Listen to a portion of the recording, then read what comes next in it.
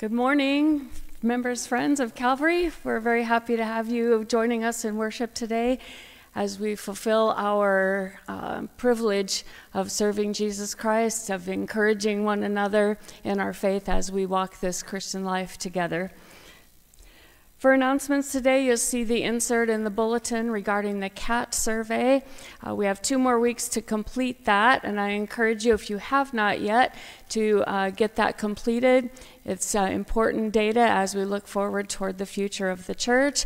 There is a reward of a Kit Kat bar if you get yours completed, so um, you can see Jamie about that, I believe, or Keith would have those available. So I completed mine online, so I have to get in touch with them after church since I did not go trick or treating and I do not have any Kit Kat bars uh, sitting in my kitchen. So uh, we ask you, can, can, prayerfully consider how you complete that. Uh, do it honestly. It is an anonymous survey, so no one will know what you say or connect you with anything, and um, give your honest appraisal of how we think uh, we'd like the church to move forward. Also encourage you to uh, prayerfully consider your vote. If you have not already voted early, consider what the uh, biblical counsel would be and pray before you make those decisions. We are so privileged to live in a country where we can speak our mind and uh, cast our votes. But uh, we just pray that you'll do that prayerfully and with a biblical uh, attitude in mind.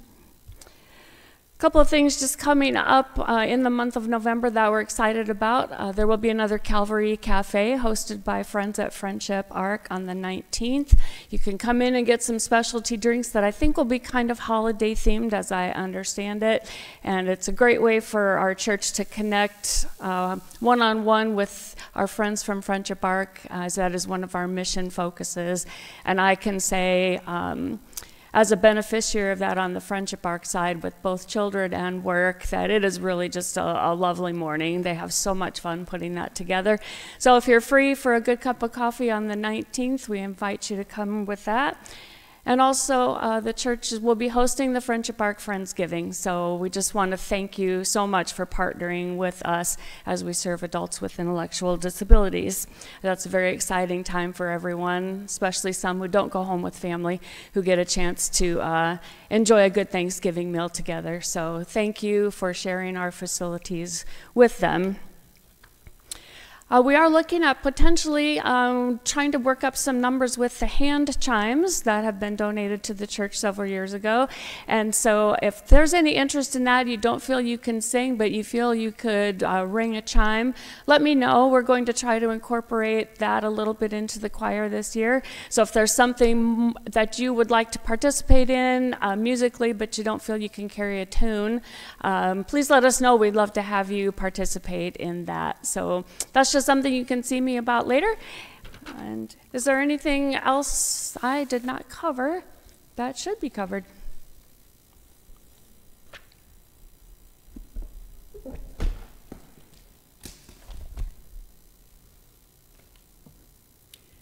I see nothing extra, so I will uh, greet you as a call to worship from Psalm 9. I will give thanks to the Lord with all my heart. I will tell of all your wonders. I will be glad and exult in you, and I will sing praises to your name, O Most High. And that's what we're going to do this morning with number 371. We are standing amazed in the presence, and how wonderful, how marvelous is Jesus' love for us. So let us sing of that together. Number 371, verses 1, 4, and 5.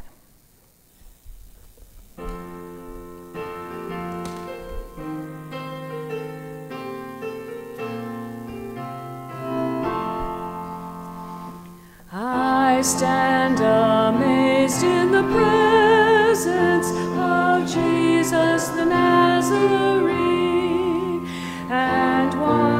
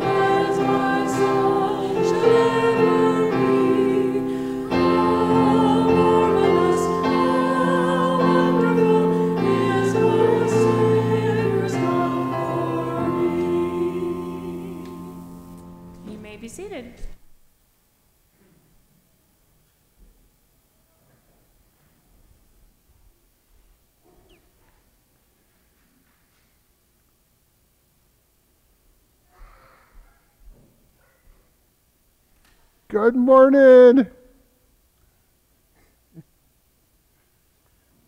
Got a loose tooth? Oh my.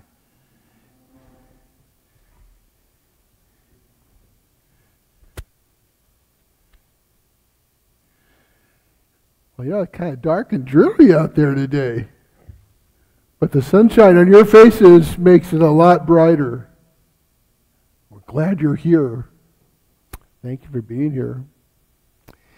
Say, if you have really, really good news, do you like to stay quiet and keep it to yourself? No? No. Do you like to tell people about it? Yeah. As long as long as people say you can tell it. If they say it's a secret, don't tell it. Oh, that's right. Very good. Yeah, if they tell you a secret and tell you to keep it secret, you shouldn't tell anybody else. But you know, there's there's some good news that we have that Jesus says we should go and tell everybody. So he says we're not supposed to keep it secret. Do you do you know what that good news is? That good news is that God loves us and he wants to save us from our sins, from the bad things we do, from the things that uh, we say that aren't very good. So he wants to save us from all that, and he wants us to tell other people that we're saved and they can be saved too. Isn't that good news? We call that the gospel. And that should be something that we really, really want to do. We should be wanting to tell everybody about this because uh, it's the best news in the world, and they need to hear it so that they can know Jesus too and be saved. So uh, think about that when you are uh, at school or um, just hanging around with your friends or uh, anywhere you go. You can tell them about the good news of Jesus. Now, sometimes they won't want to hear it, and so we got to be sensitive. If they don't want to hear it, we need to respect that. But, you know, um, people need to hear it, and um, if they're willing to listen, we should tell them about Jesus. Let's pray. Well, thank you um, for these young ladies this morning. and we're so glad that they're here, and we so glad we're so glad that you love them and they love you, and uh, they brighten our day here in this church. Lord, I pray that you'll help us, all of us, to share this good news that we have, that you love us and that you want what's best for us and you want to have a relationship with us. So help um, all of us to, to know that and to share that good news with others. We pray this in Jesus' name. Amen. Thanks for coming today.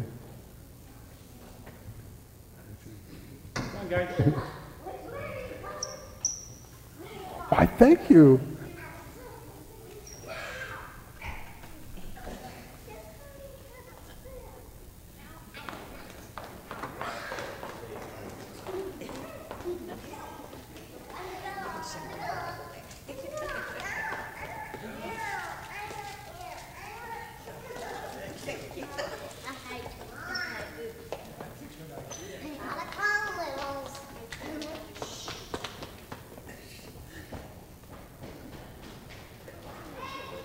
Scripture lesson today, our gift from the Word of God for this morning is Romans chapter 15, verses 14 through 21.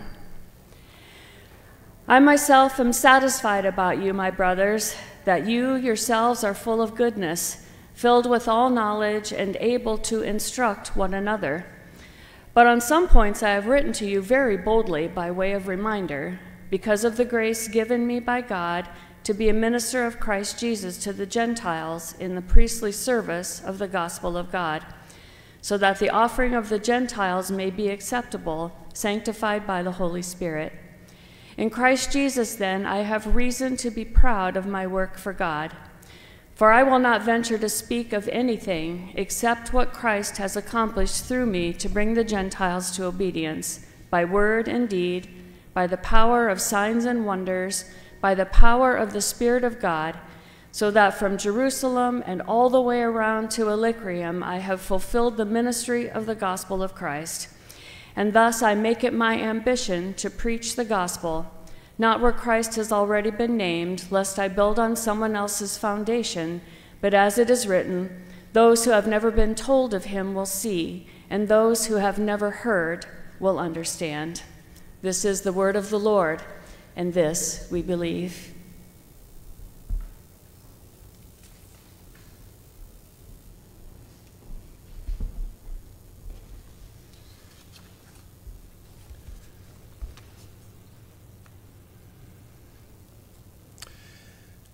Well, what is your burning ambition? Uh, I, I, find that I have um, reached the age where my burning ambition is just to be able to get out of bed in the morning uh, without any further aches and pains. Uh, but, you know, I have had higher ambitions than that in my lifetime. Uh, what is it uh, that makes you want to get up in the morning, that, that lights you up, that energizes you.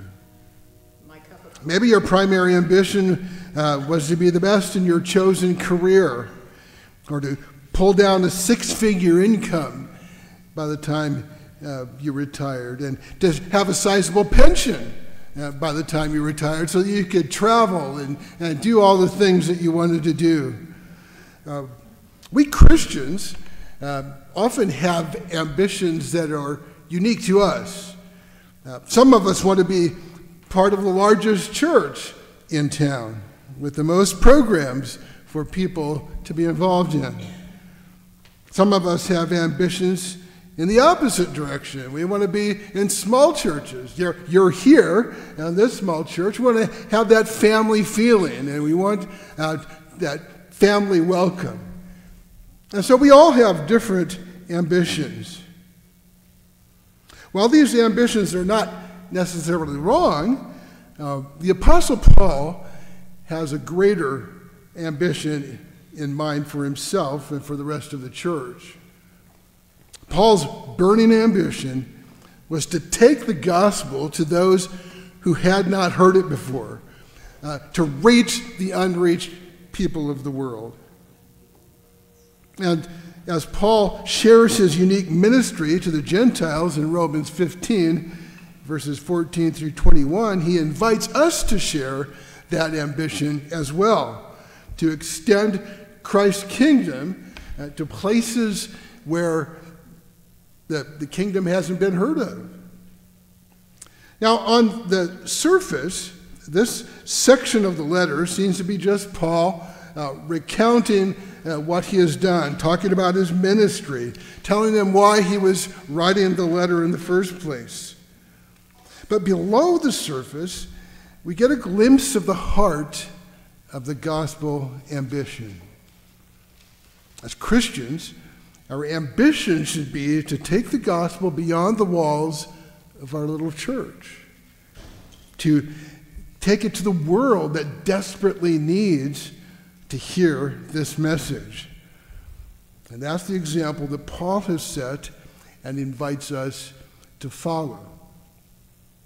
In verse 14, Paul affirms the church in Rome. He's writing to Rome, uh, the church in Rome, and he's heard great things about it. He hasn't been there himself, but he is satisfied that they are full of goodness, he says. He is convinced that they are a church that bears the marks of a true Christian that he outlined back in chapter 12, verses 9 through 21. They're doing all the right things. They, they, they have all of the right uh, relationships going on. Their love is genuine. They generally treat each other with goodwill. And they have a good attitude towards outsiders. It's, it's evident that they are a church that is shaped by grace. They are also a church that is filled with all knowledge. The perfect tense of the, the verb makes it most likely that Paul means that they are, are being filled with knowledge.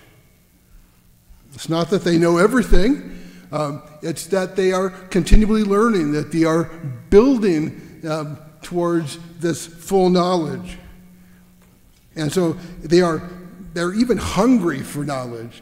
Uh, they want to learn more. They want to learn more about Jesus. They want to learn more about you know, the kingdom of God. And so um, it's very commendable that they're not just sitting on what they already know and, and just relaxing and, and basking in um, God's approval. What they know increases their appetite for learning more.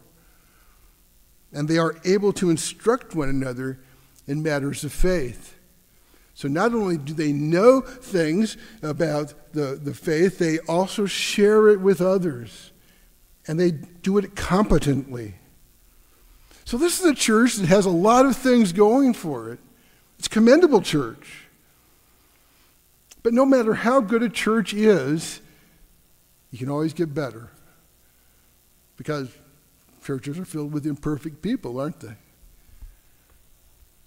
Paul felt as if he needed to write to them very boldly on a few points, he says. Among his bold words were the implied rebukes of the, to the boastful Jewish Christians in chapters 2 and 3. I don't know if you can remember that far back when we covered that, but uh, uh, the Jewish Christians tended to be um, judgmental judging those uh, outside the church, judging uh, the Gentiles even inside the church.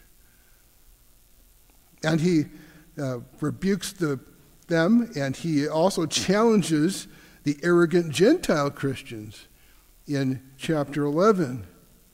The exhortations in chapter 12, verses 1 through 3, and the very specific situations and instructions in chapter 14 and the first part of chapter 15, all um, are, are, very bold words that challenge this church to get better, that there, there's room for improvement.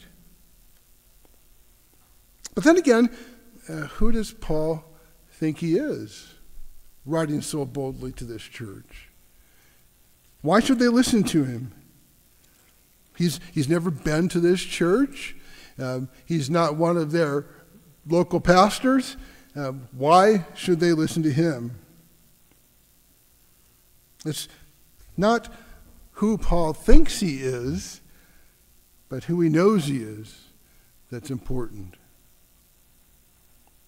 Way back in the greeting of the letter, he introduced himself as an apostle, set apart for, for the gospel of God. He has the authority to write boldly to this uh, church that he's never been to because of the grace given to him by God. Verse 16 to be a minister of Christ Jesus to the Gentiles in the priestly service of the gospel of God, so that the offering of the Gentiles may be acceptable, sanctified by the Holy Spirit. So trend today among some people to disregard Paul, uh, cut him off from Scripture, to only uh, focus on the Gospels, and, we, and, they say we can ignore Paul. We can't. Paul has the authority given by God, by the grace of God, um, to speak with authority, and his, his letters, these letters we have of his, are part of Scripture. So Paul's mission given to him by God's grace was to be the apostle to the Gentiles. He was to go to the Gentiles throughout the known world and proclaim the gospel to them and bring them to faith in Jesus Christ so that Christianity would be more than just a Jewish sect.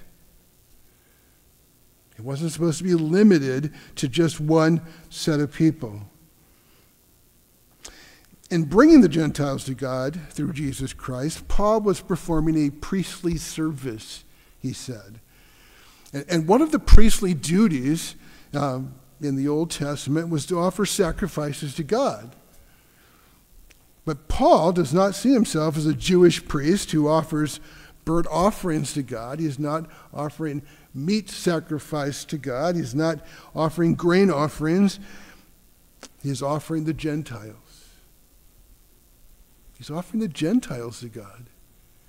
So when he proclaims the gospel, the, the Gentiles receive it, they respond to it they, uh, with the affirmation, they receive Jesus, and Paul is then bringing them as living sacrifices to God.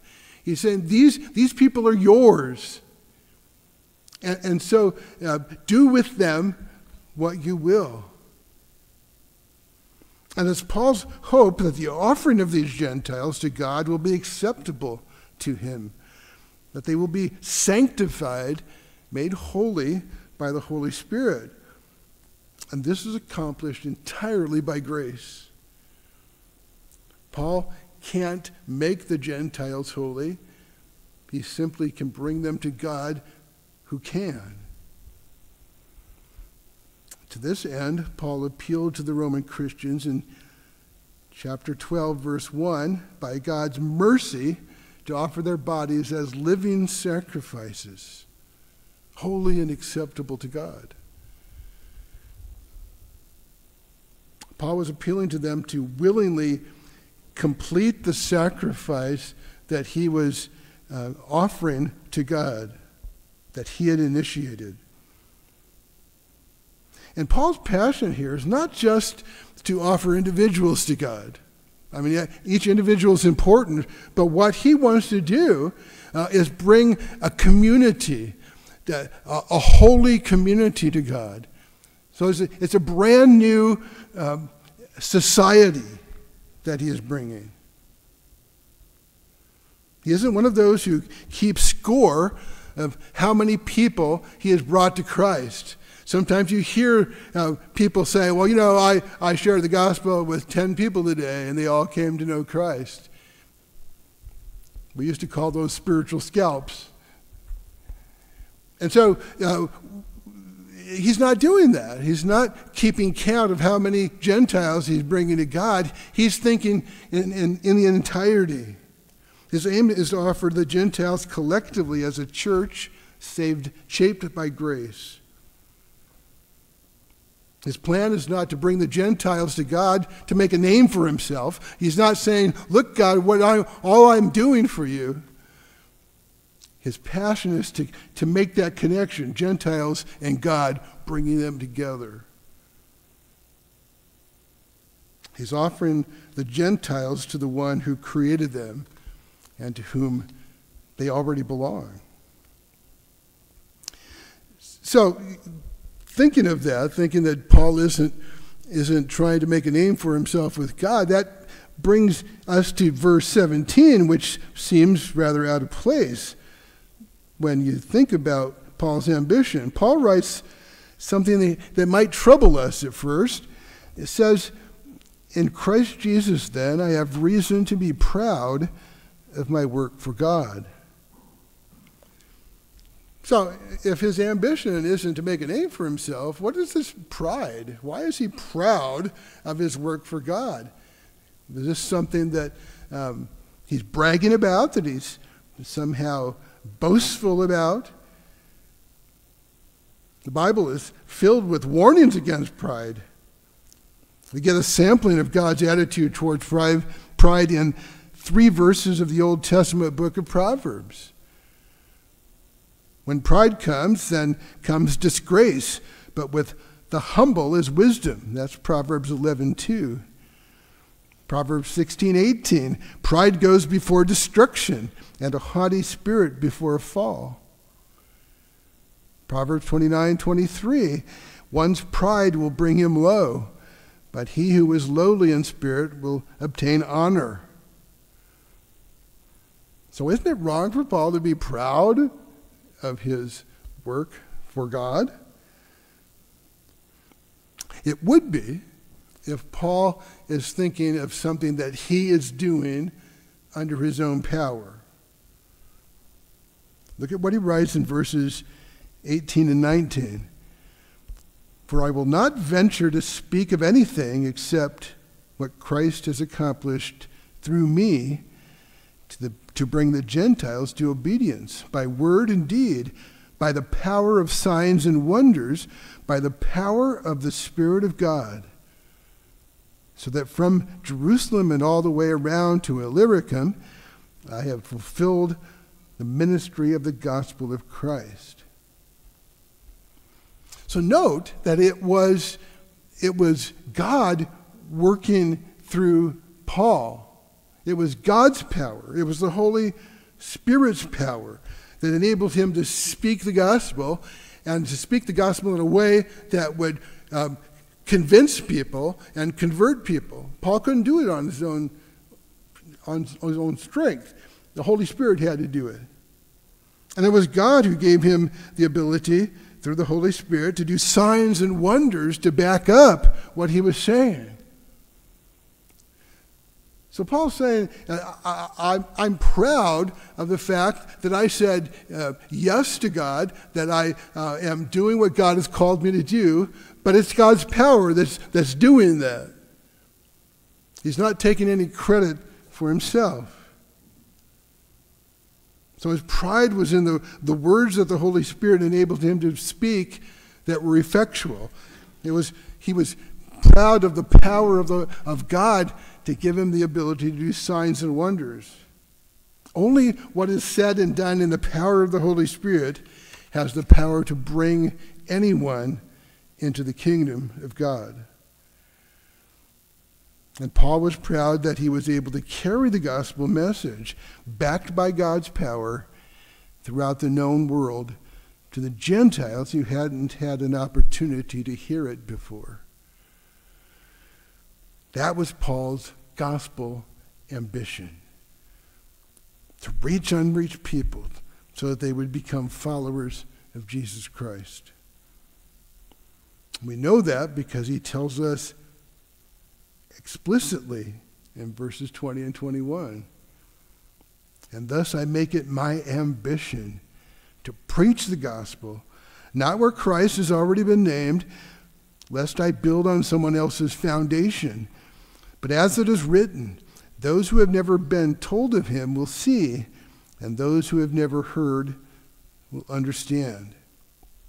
So his burning ambition is to, to, to go where no one has ever gone before. Borrow a Star Trek thing. It's what got him up in the morning. It's what charged his batteries. He wanted people to know the joy of knowing and following Jesus.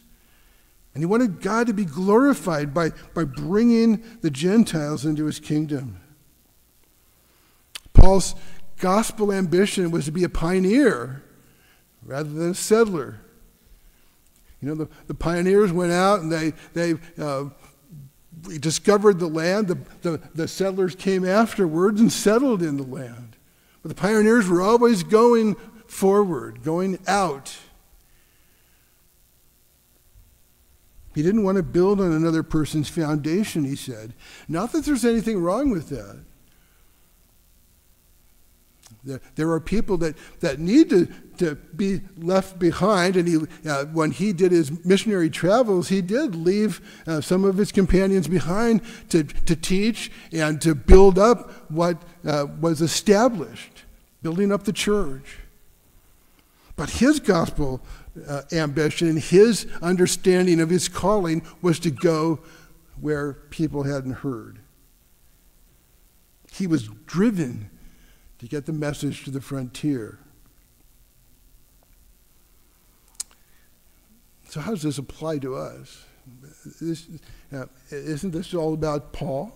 Well, yes, Paul's ministry was unique. He was an apostle. Uh, we don't have apostles, at least in that sense, uh, anymore, with the authority that he has. But it applies to us because sadly, I think many of us in the American church do not have that gospel ambition to take the gospel where it hasn't been heard. We've allowed worldly ambition to overcome our gospel ambition. For too many of us pastors, uh, we, our ambition is to, to go to an established, big, well known, successful church and, and to build on that and build our own reputations. The, the ambition of many lay leaders and church members is to provide programs uh, that will tickle their fancy, that will please them, that will build themselves up, and keep people there who are already there happy. We don't seem concerned that there are vast numbers of people who haven't heard or haven't understood the gospel. We need to trade our ambition to be successful and to be comfortable for the more godly ambition to take the gospel where it hasn't been heard. And that doesn't mean that everybody is going to be called, like Paul, to, to go into foreign lands um, to share the gospel. Some will. Uh, most of us in our uh, um, life situation now, um, we're, we're past that. But you know, uh, we don't necessarily have to take uh, the gospel uh, overseas in order to reach unreached people. Especially living in a university town the size of Iowa State, the world is coming to us. And so we have that opportunity to share the gospel with those uh, who are here in Ames. And we have uh, the opportunity to even share uh, with the gospel with people who haven't understood it yet. They may have heard it, but they haven't really been challenged to respond to it. And we also have the uh, opportunity, perhaps, uh, to share uh, our financial resources with those people who are going overseas, who are sharing the gospel cross culturally. So even if we don't feel called to do it personally, we have the opportunity to share uh, resources with those who do have that calling. So, what is your ambition? What is your, your burning ambition in life? Your ambition may, be, may not be the same as Paul's to preach the gospel where no one else has heard. And there's no shame in building on someone else's foundation. But as we are building on that foundation, we should always be looking beyond the frontiers of our ministries to the unreached people uh, around us and beyond us. In our neighborhood, in our world, uh, wherever the gospel uh, has not been heard. We should be encouraging those who are disciplining or discipling it to consider taking the gospel to the unreached people in the world. We should be a sending church. So often we want to keep uh, those people who are uh, precious to us and keep them to ourselves rather than saying, maybe you're called to take the gospel somewhere else. And we are, should be encouraging those who aren't called to be frontline workers in reaching the unreached to support those people who are called. Not only with our money, but with our prayers. Because prayers are so effectual, so important. In chapter 10, Paul wrote that everyone who calls on the name of the Lord will be saved. And then he asked, How will they call on him in whom they have not believed? And how are they to believe in him of whom they have never heard? And how are they to hear without someone preaching? If no one has the ambition to reach the unreached people of the world, those who have never heard, then how will they be saved? They have never heard of Jesus, they're not going to be able to respond to Jesus. That should break our hearts. I know it breaks God's. So that's a question that really should shape our ambition to take the gospel where it's never been heard. Let's pray.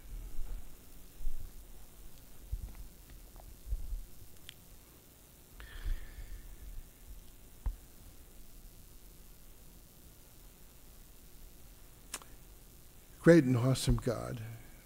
Um, what an amazing God you are. Our creator, our sustainer. You are the one in whom we live and move and have our being. You are the, you are the breath that we take. You cause our heart to beat. You are worthy of our worship, Lord. And you have filled us with abundant blessings. And Lord, in response to that, we ask that you will forgive us for not sharing how great you are with other people, especially those who haven't heard of you. Forgive us for being satisfied with our cozy little Christianity, their cozy little beliefs. Forgive us for, for hogging all of the good news to ourselves and not sharing it beyond our, our homes, beyond our church. I pray that you'll give us this gospel ambition if we don't go personally to, to sh- share our resources with those who are going and to pray fervently for those who are taking the gospel where it's not been heard before.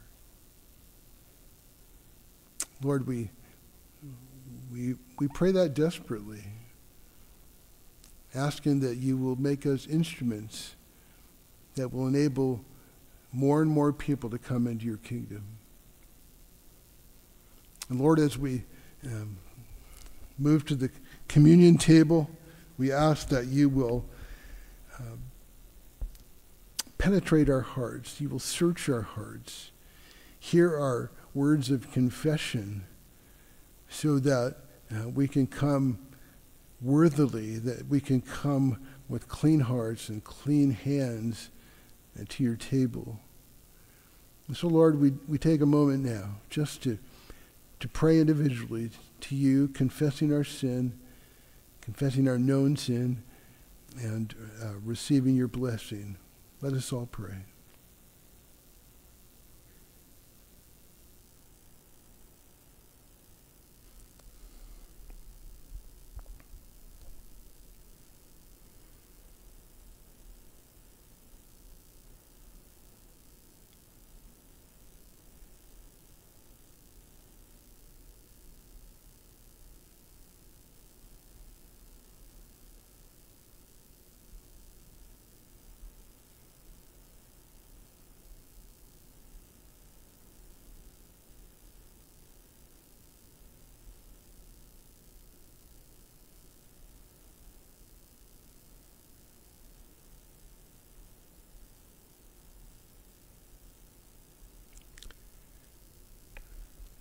Hear the good news from 1 John 1 9.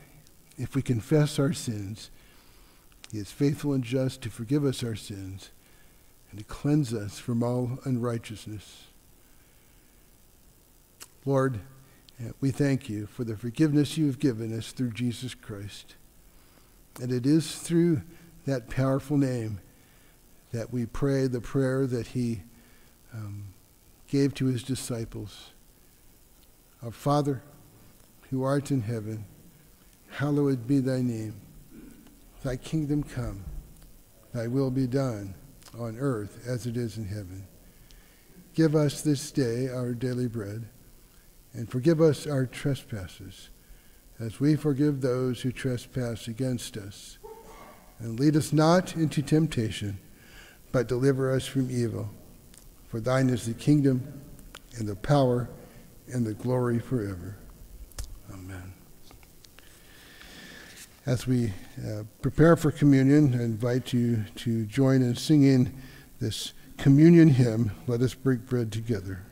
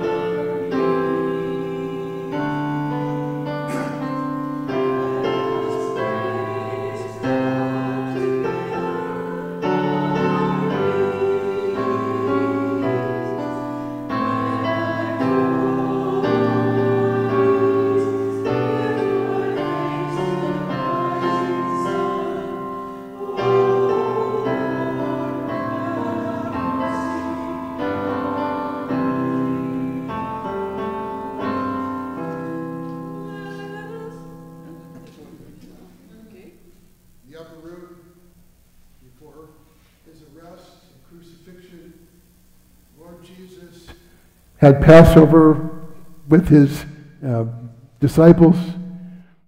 And during the Passover meal, he reinterpreted the Passover uh, because really the Passover was about him, as the whole Old Testament was about him.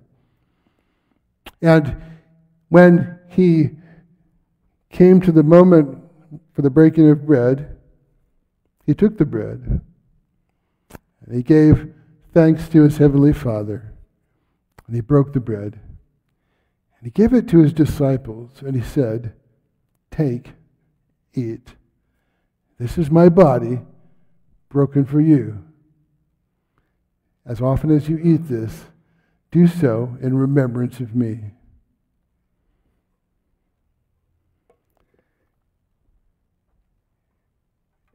And then he took the cup,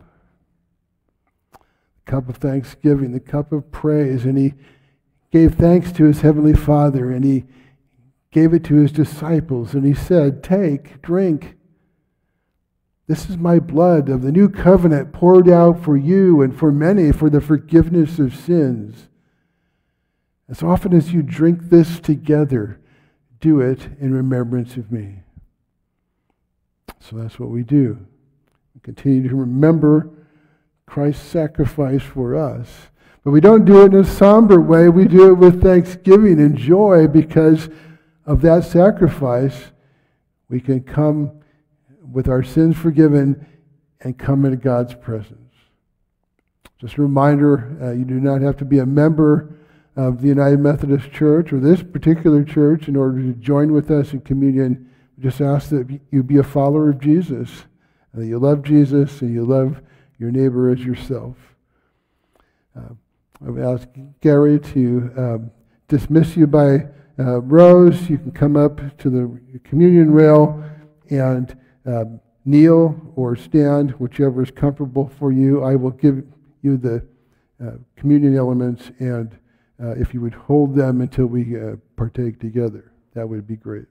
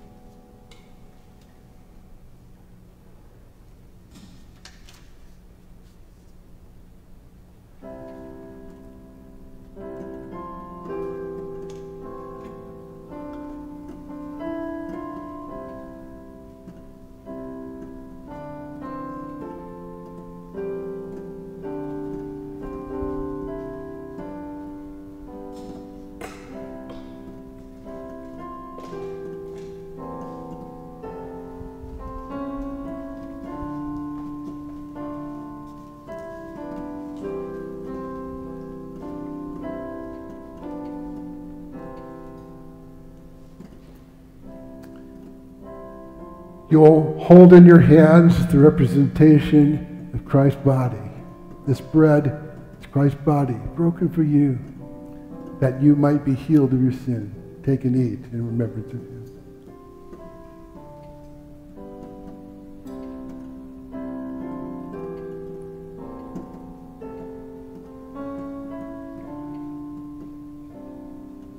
And this is Christ's blood shed for us to cleanse us from all our sin. Take and drink in remembrance of him.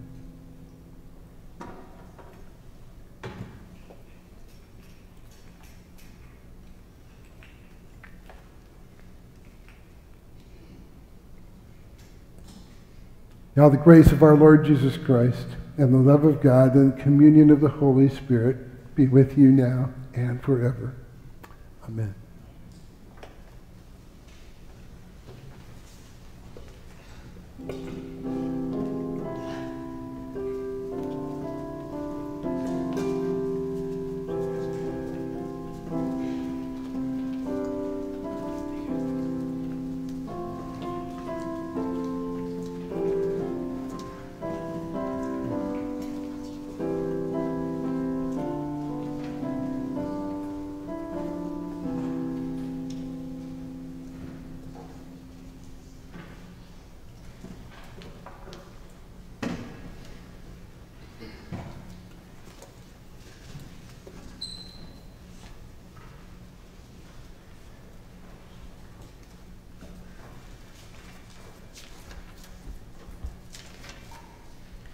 Closing hymn, I think, today uh, gives us some foundation for that gospel ambition that Steve preached about today. And in Paul's uh, very next letter, or, or at least the next one in our New Testament, he writes this When I came to you, brethren, I did not come to you with superiority of speech or of wisdom, proclaiming to you the testimony of God. For I determined to know nothing among you except Jesus Christ and Him crucified. It is a simple message that we celebrated with communion today and that uh, we have heard about with gospel ambition. And the foundation of everything that we preach and share in the name of Jesus and because we love him is found um, in that simple phrase I know nothing among you except Jesus Christ and him crucified. So that is the theme of our hymn, number 163 Ask ye what great thing I know. What delights me, what stirs me, what sends me with that ambition is Jesus Christ the crucified. So, number 163, I invite you to stand.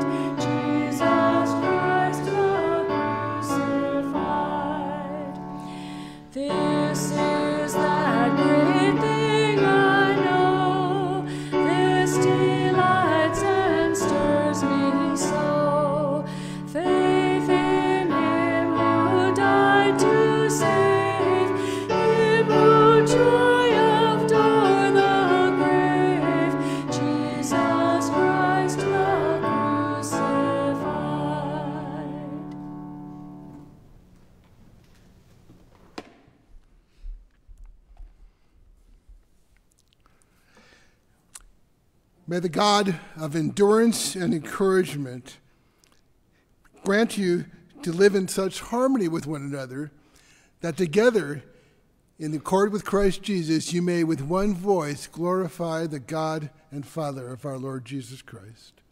Amen.